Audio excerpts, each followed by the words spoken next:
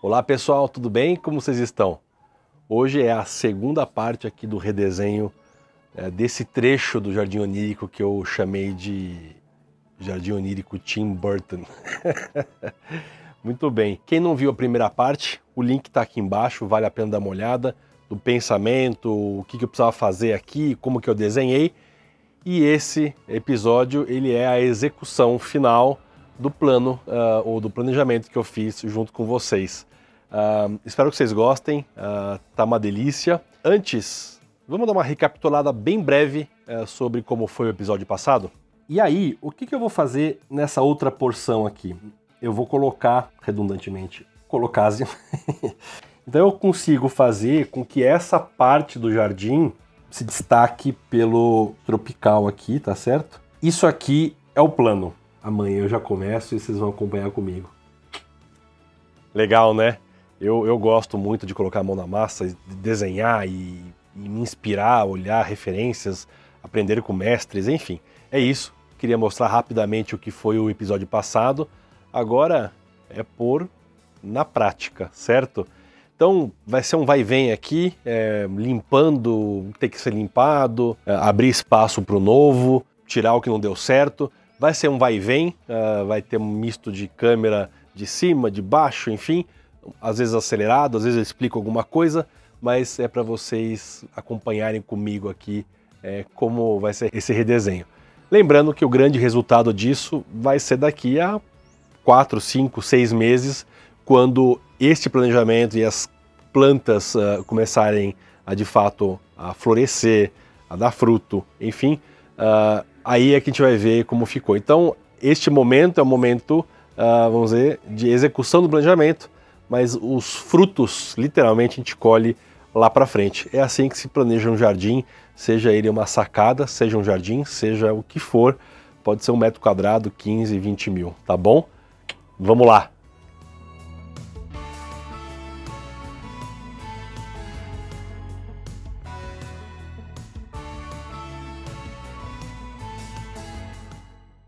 E é chegada a hora que eu lhes apresento o meu cinturão de maldades. Não, é só um cinto aqui de ferramentas, porque tem coisas que eu preciso desplantar para replantar, como é aquele caso da equinácea que eu falei, né? A equinácea eu vou colocar é, no macicinho ali, então tem outras equináceas espalhadas que eu vou juntar ali. E eu vou arrancar uh, algumas plantas que têm espinho, portanto eu preciso dessa luva aqui.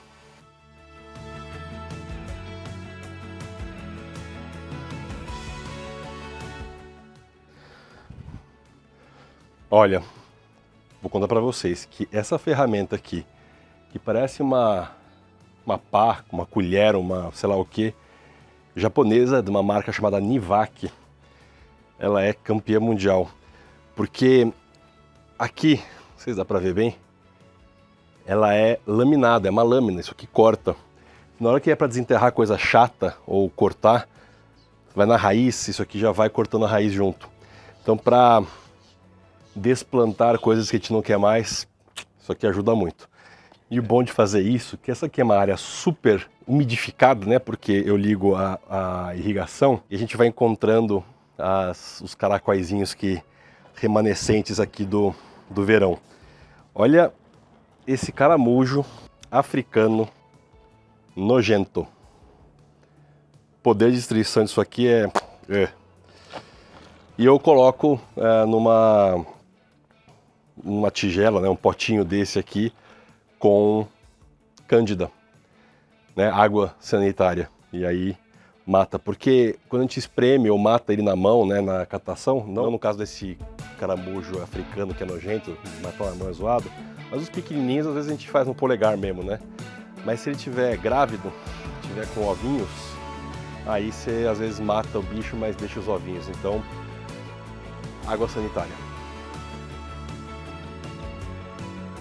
Aqui, ó. Duas equináceas aqui, né? Que eu vou passar ali para o canteirinho de equinácea que eu quero fazer. Raiz e tudo. Rizominha preservado. E é isso aí.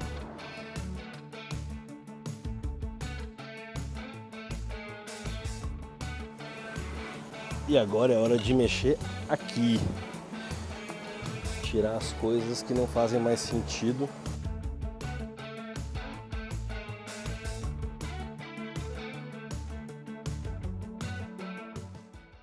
Olha, aqui eu já tenho uma das colocásias que eu queria colocar aqui, né? Olha aqui a Nancy Revenge. Ela fica enorme, tá? Ela tá pequenininha, tá bebê. Acabou não se desenvolvendo tanto, mas já deu filhotinho. E já tem aqui, ó, uma folhinha nova saindo. Essa planta é linda, gente. Ela fica uma folhona grande, com um miolo uh, bastante branco. Né? Eu vou trocá-la desse vasinho, vou colocar num vaso apropriado para o desenvolvimento dela e fazer aquele canto lá, as colocásias, como eu falei para vocês. Então, é basicamente chegar da hora de começar a plantar. Mas olha que interessante, né? Eu, te, eu queria esse efeito mesmo. Olha só essa lavândula stoicas. Né? Parece um bonsaizinho, né? Adorei o jeito que ele ficou. Ele foi pensado mesmo para ficar é, na beira né, do, do, aqui dessa mureta mesmo, né? Ela já estava na beira, como vocês viram no começo. Eu fui tirando as coisas, ela estava por aqui. E olha só que interessante, né? Parece que tem uma, uma coisa de o vento e o vento levou.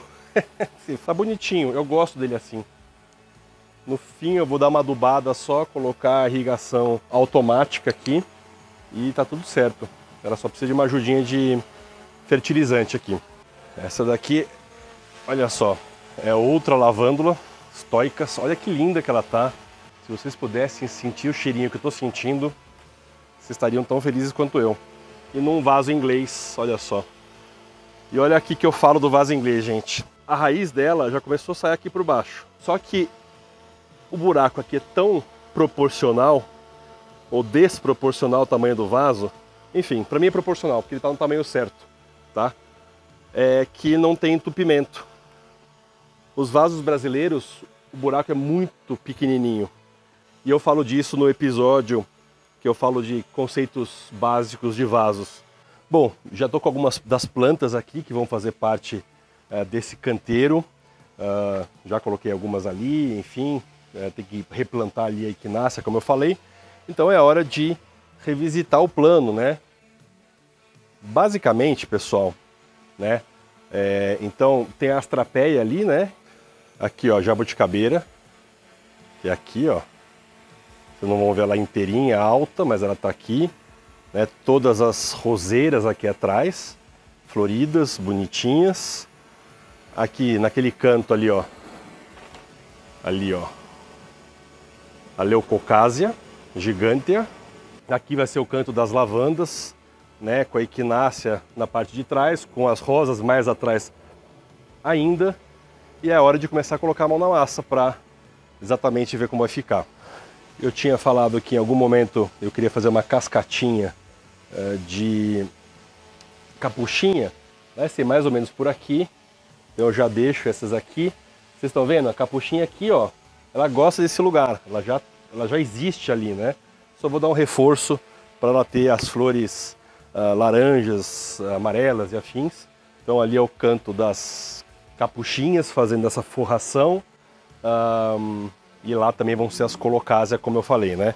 Então, vai ter a colocásia a Nancy's Revenge e outras. Só vou deixar essa aqui para cá, porque eu vou ter que replantar ela, certo?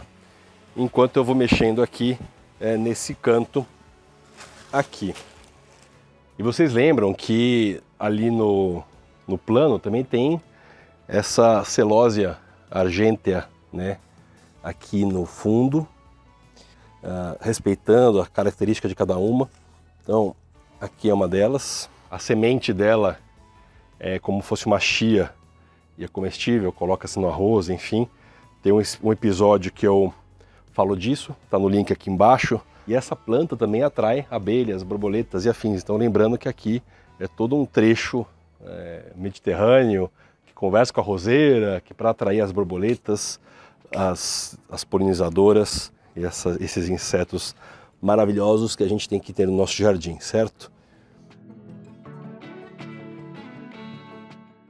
Aqui um manjericão que eu vou colocar aqui na frente da celósia, tem aqui, por exemplo, a lavândula multifida. Ela é bem profícua, bem fácil de cultivar como lavândulas. Ela vai ficar aqui no trecho lavandístico. Ela tem um, um cheirinho de folha quando você esfrega, parece é, orégano.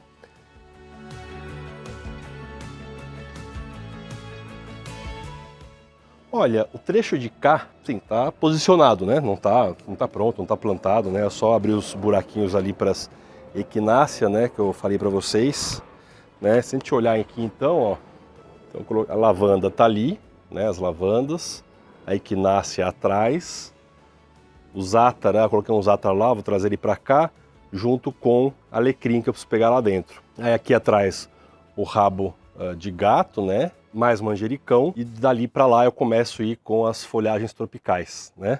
Agora eu vou do outro lado ali para mexer com as grandes folhagens. E vocês vão perceber que no final do, do episódio, aqui vai estar tá muito mais denso já, né? Com, com plantas mais adensadas, é, com né, essas uh, lavandas, as ervas, enfim, tá tudo mais adensado porque lá como são folhagens e as folhagens elas são maiores, né, as folhagens tropicais elas são realmente mais volumosas, e eu preciso espaçá-las.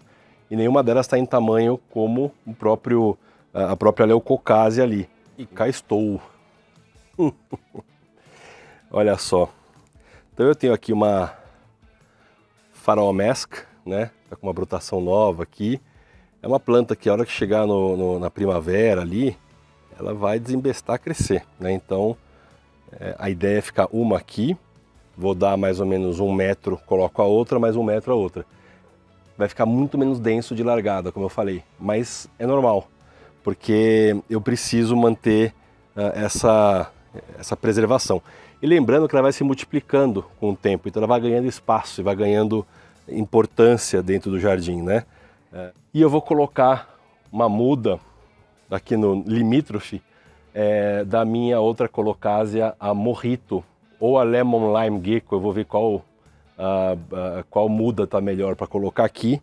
E aqui vai ser então o recanto das colocásia, conversando aqui com né, o cordatum, com undulatum, com, enfim, as outras folhagens que eu tenho aqui para fazer esse, essa impressão tropical hiper bacana. Uma delícia ver isso aqui crescer, não está pronto, né? não está no tamanho que a gente fale, nossa, que, que, impressionante, Alan, você é um gênio. Não, primeiro não sou um gênio, e depois que. e depois que é, tudo tem seu tempo. Eu, como vocês sabem, gosto de plantar uh, as coisas pequenas, né? E depois a gente vê o crescimento uh, como se dá. Bom, estou numa parte da execução aqui do plano, que são as ervas, né? Tem a equinácea ali atrás, eu já posicionei a celose argentea né, aqui, que é o rabo de gato. Lembrando que eles vão fazer a meia altura versus as roseiras, né? Então o ponto aqui, pessoal, agora é, estou resolvendo a fileira de trás e tem uma fileira intermediária e depois eu vou brincar com alguns vasos espalhados aqui que eu estou testando visualmente como eles ficam, porque às vezes a gente planeja, ah, pô, tá legal aqui, faz sentido mas na prática muda um pouco. Não deve mudar muito porque, enfim, é, a gente pensou juntos ali, mas uh, uh, não quer dizer que esteja perfeito. Então, por favor aqui, Paulo, faz esse favor para nós. Tá vendo aqui? Essa aqui é, é equinácea, tinha outras espalhadas para lá, trouxe para cá, fiz a cova, coloquei terra, né, terra não, substrato, coloquei substrato é, biomix normal. E o que eu vou fazer agora, eu fiz uma, uma misturebinha e eu dou uma porvilhada em cada uma das covas aqui. Então aqui eu fiz uma mistura de bocache, um, torta vegetal Downin, né, indiana, e coloquei um pouco do extraordinário uh, da Urutau. Então aqui está uma, vamos dizer, uma bomba fertilizântica uh, que está super, uh, vamos dizer assim, orgânica, saudável e, e bonitinha para a gente fazer essas finalizações aqui. Então, e aqui a gente continua com a mão na massa. Vocês veem Uh, tem as covas que eu estou criando aqui, né? Esse excesso de terra eu não jogo fora, porque é uma terra altamente adubada. Vocês vão ver que eu vou, eu vou cavucando aqui, vai saindo minhoca, isso é sinal de terra saudável aqui. Aí o que eu fiz aqui, pessoal, foi dar uma molhada antes. Eu molhei bem, vocês veem que a terra está bastante é, pesada, porque na hora de fazer esse corte de argila é mais fácil é, com a terra é, molhada, tá? Muda bem enraizada, maravilha. Vai fazer companhia aqui para o manjericão. Aqui, só para ajudar a diminuir os espaços aqui e a planta poder ficar estável para enraizar direitinho. Então, olha, é... vocês veem, né? Aqui já tem manjericão, tem mais algumas ervas aqui para serem plantadas. Devo fazer isso até aqui, porque dali para lá vocês vão lembrar que é a parte tropical, então vai entrar as colocásias junto com a minha linda capuchinha que já está se espalhando ali. Imagina essa capuchinha daqui a, a uns meses caindo aqui, né? Ela vai caindo, vai fazendo essa cascata aqui, vai ficar maravilhosa, conversando uh, com o resto aqui dessa, dessa piscininha uh, eh, para a gente curtir ela. Ó, cada enxadada aqui é uma minhoca. Olha só. Aqui é muito fértil. Vou deixar essa aqui para cá para ela não ser dilacerada aqui pela pá. E vamos abrindo buraco aqui, ó.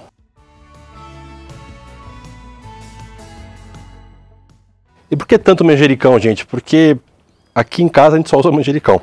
Mas vai ter aqui, como eu falei, o alecrim, tem outras outros ervas aqui para fazer graça, mas graça porque ela dá uma floração super bonitinha e as abelhas jataí que moram lá no fundo uh, deste quintal, depois eu vou fazer imagens dela para vocês verem, elas vêm aqui, bebem no néctar da, das rosas, da celósia futuramente, da floração do manjericão, do próprio alecrim e da é, tumbergia grandiflora que vocês já viram imagens. Essa tem essa planta aqui que está maltratada, parece, né? Mas ela tá só precisa de uma, um incentivo que é, é uma que eles chamam de glicínia de jardim. Ela não tem nada a ver com glicínia, ela só é de jardim. Mas é, ela dá uma, uma florzinha, um cachinho de rosa, uh, um cachinho né, rosáceo de, de. Daqui ela dá uma vez, duas por ano. Talvez vai ficar interessante com esse vaso em destaque, uma, uma, uma folhagem que não é tão exuberante no sentido de cobrir o vaso. Porque a gente tem que lembrar, vaso bonito, quando a gente quer que apareça, a gente tem que colocar plantas que não cubram o vaso, tá certo? Tem que ser tem que ser plantas que enalteçam o vaso. Então, ela, por exemplo, essa aqui, glicina de jardim, vai ficar nesse esquema aqui. Talvez, talvez seja essa mesma que eu deixo aqui, vamos ver.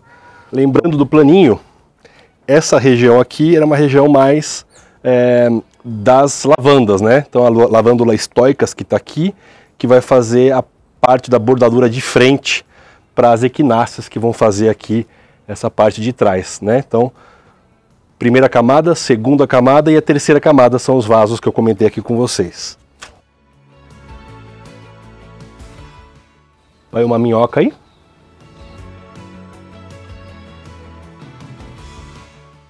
Aqui o solo está bem argiloso, né? Você vê que está tá carregado. Enfim, é um solo bastante rico, não tem problema nenhum ele ser argiloso. Mas como eu vou colocar as lavandas aqui, e lavanda, como vocês lembram, é do Mediterrâneo, é, eu não posso deixar ela tanto num solo tão carregado. Então o que eu vou fazer aqui, só para ajudar nesse começo de vida dela aqui, é colocar um pouco de biomix. Biomix é um substrato já mais aerado, né? Ele tem outros componentes para ajudar nessa aeração de solo que eu preciso. Se a gente olhar a literatura, ela conta para gente que é, é interessante quando a gente faz o plantio de lavanda no geral, seja a francesa, a espanhola, a alfazema, né, que é a lanata, que a gente respeite aí 30 centímetros de distância entre elas. Mas não precisa, assim, precisa implantação séria. Aqui é recreativa.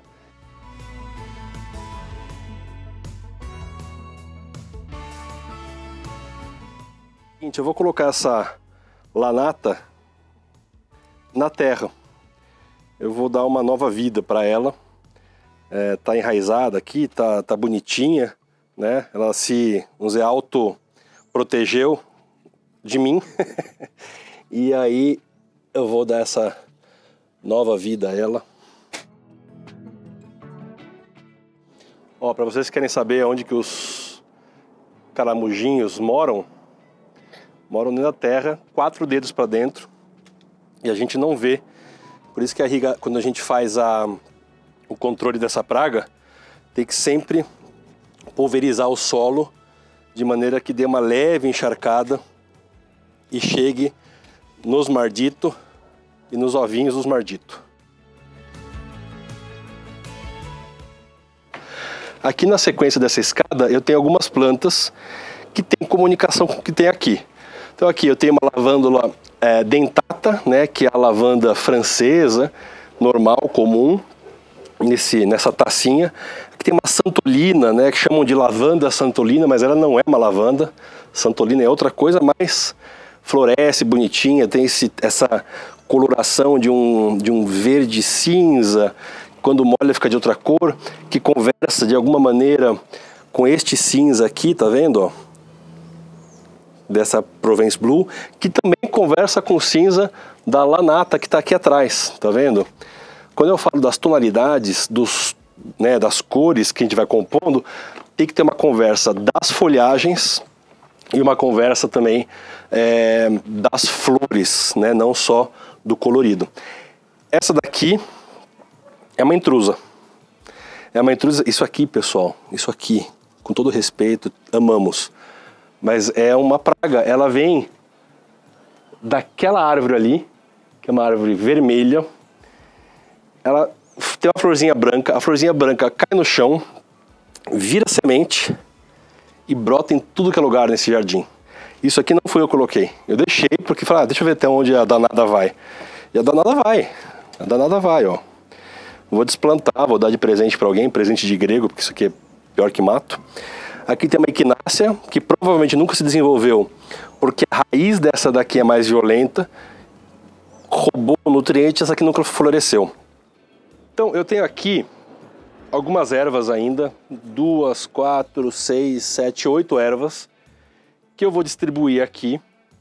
Eu vou fazer toda a parte tropical. Eu vou começar agora a parte tropical, só vou passar é, dois vasos já plantados ali para vocês já começarem a ver como isso vai é, se compondo.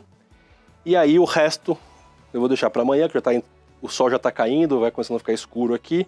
E eu não preciso fazer tudo hoje, porque tem a capuchinha, tem essas ervas, tem outras coisas para fazer aqui. Eu quero fazer isso com calma, com vocês, no nosso terceiro dia de plantios. Bom, recanto das colocásia. Vai ter colocásia no chão, vai ter colocásia em vaso, vai ter colocásia em tudo que é lugar aqui porque eu quero de fato testar o potencial dessas lindas folhagens aqui. É, prima, irmã, ex-companheira uh, de gênero, tem aqui a Leucocásia. Por que ex-companheira de gênero? Porque a Leucocásia era classificada como Colocásia gigantea. E não é, já faz uns 3, 4 anos que não é mais a, a Colocásia gigante, é a Leucocásia. E ela gostou desse lugar aqui, tá? Ela tá tomando um sol, não é pleno, pleníssimo, mas tomou um belo de um sol no verão. Eu acertei a irrigação dela e olha, tem folha já desenrolando aqui do filhote, folha desenrolando aqui da mãe, e ela está retomando o tamanho de orelha de elefante, como é aquela orelha de elefante que eu fiz o transporte junto com o Paulo lá de trás para a parte dentro da casa. Se você não viu esse episódio, está aqui na descrição dê uma olhada porque essa planta realmente é uma monstra, para não dizer gigante, como ela realmente é. Então, o que, que eu tenho aqui? Por exemplo, Farol Mask, que só de desde que chegou lá da We Plants nessa parceria com a Ecoa Viveiro, que eu já comentei para vocês uh, que é uma parceria muito bem-vinda, que expande o mundo de folhagens aqui no Brasil. Colocásias são plantas simples, fáceis de cultivar, não tem segredinho, é, não precisa de umidade, não precisa de vapor, não precisa... Tenho plantas assim, vocês sabem disso, estou caçoando com as minhas próprias plantas, mas é, colocásia é, é muita alegria. Essa aqui é uma Faraó Mask, vocês vão ver aí imagem disso aqui adulto, é uma beleza. Ela, só de ter chegado, eu deixei ela de molho ali, né, no esfagno, enfim, chegou super bem enraizada, né, aqui da We Plants, lá do meu amigo Alexandre. Super bem enraizada, super linda.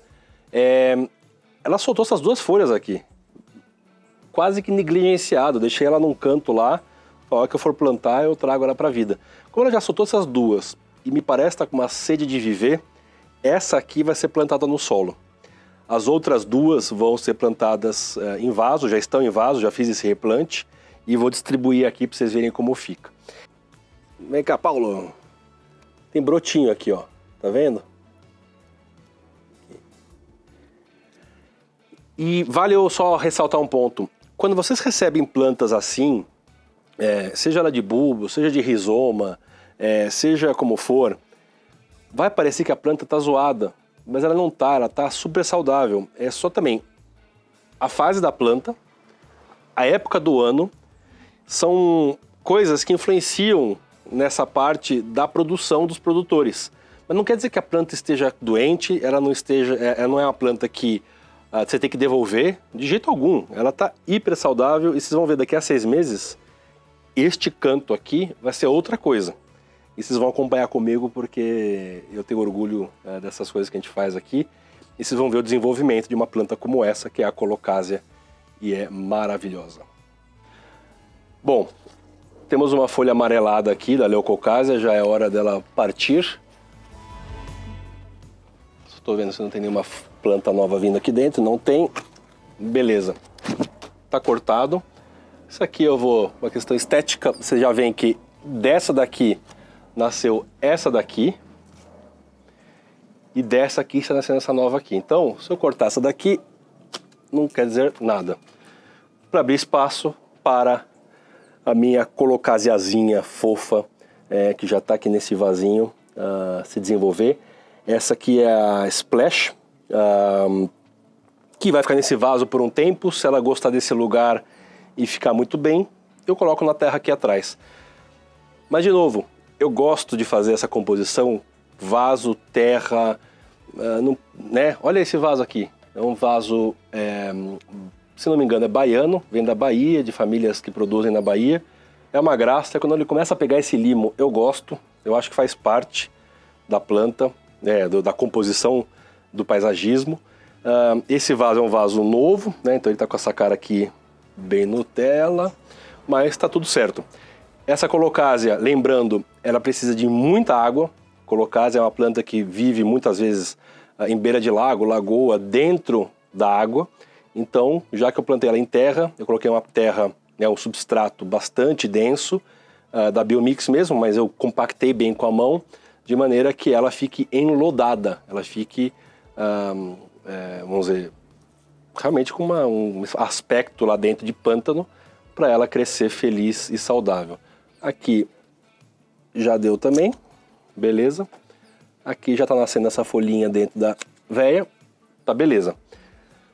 Aqui eu tenho do meu lado direito uma white lava, que é uma colocásia que também tem que ser cultivada da mesma maneira que essa. Ô oh, meu amigo Bonifácio, ai meu Deus do céu. Bono é o gato mais cremoso da face da terra. É o gato de colo, que faz toda a companhia e diferença na nossa vida. Né, fofinho? Bom, aqui tem a White Lava, que é o mesmo tipo de cultivo dessa Colocasia, da Farol Mask, tá tudo certo, tudo igual. É... Aqui ela vai ainda soltar folhas novas, eu vou deixar da maneira que tá, só vou cortar aqui a pontinha, beleza? E a Farol Mask vai para o chão aqui atrás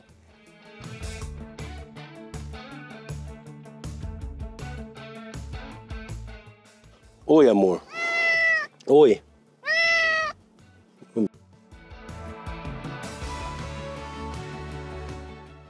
E por que, que eu estou usando essa terra argilosa aqui? Porque, como eu falei, a colocásia é uma planta de pântano, né? de, de beira de lagoa, é, de lagos. Ela, ela gosta de uma umidade, ela gosta dessa água retida. Então, já que ela gosta, daremos a ela o que ela gosta, certo? Beleza. Aqui, claro, eu vou ter que ajustar toda a irrigação. Não vou resolver isso agora. Vamos continuar. Bom, vai parecer enrolação, mas não é, gente. Tem muita erva aqui ainda para plantar. Tem a colocásia Nancy's Revenge para colocar num vaso novo. Tem que tirar muda da colocásia é, Morrito, tirar muda da colocásia Lemon Lime Gecko. Eu não quero ficar editando isso, eu quero mostrar para vocês como eu faço. Então, o último episódio vai ser sobre colocar essas ervas aqui nesse trecho, tirar essas mudas, colocar para cá e finalizar junto com vocês, dando uma bela de uma limpada e fazendo uma filmagem final de como ficou a, a, a execução daquele plano que a gente fez juntos. É, espero que vocês tenham gostado desse episódio, espero que tenha dado alguma ideia, que tenha clarificado alguma dúvida. E se sim, deixe seu joinha, uh, deixe o seu like aí, inscreva-se no canal, ative o sininho e tudo isso que a gente sabe que ajuda sempre quem está criando um conteúdo, tá bom? Até a próxima, vai ser bem breve, o próximo episódio. Tchau!